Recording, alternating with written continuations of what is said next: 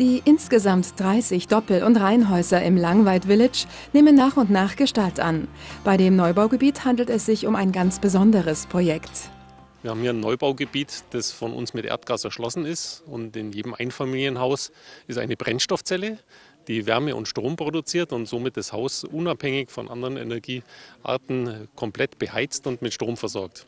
Das ist sowohl aus ökologischer Sicht, also von den Schadstoffen her, die beste Variante, als auch von den Verbrauchskosten für den einzelnen Nutzer, sodass hier der Vorteil eigentlich da ist, man ist unabhängig und hat dazu noch eine sehr kostengünstige und CO2-freundliche Art der Energieerzeugung.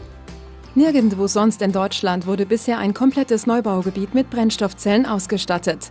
Deshalb besuchte jetzt eine Delegation des Herstellers Panasonic aus Japan das erfolgreiche Pilotprojekt in dem Fall Langweid, konnten wir der Kommune vorschlagen, ähm, das Erdgasnetz nicht herkömmlich zu nutzen, sondern diesen innovativen Weg zu gehen, die Brennstoffzelle zu installieren und ähm, haben einen Bauunternehmer gefunden, der äh, sehr interessiert daran war, das auszuprobieren und eine Kommune, die auch äh, ganz innovativ nach vorne denkt und eventuell dann mal ganz regenerative Energien durch das äh, Gasnetz zu leiten und äh, die ganze Sache auf völlig regenerative Füße zu stellen.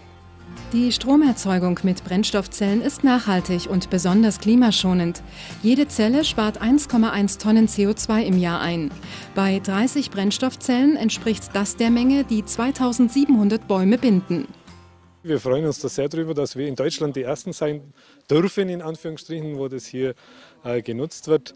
So kann jeder im Endeffekt äh, zum äh, Klimaschutz, zum Klimawandel beitragen und dann natürlich äh, auf seine eigene Weise dazu beisteuern.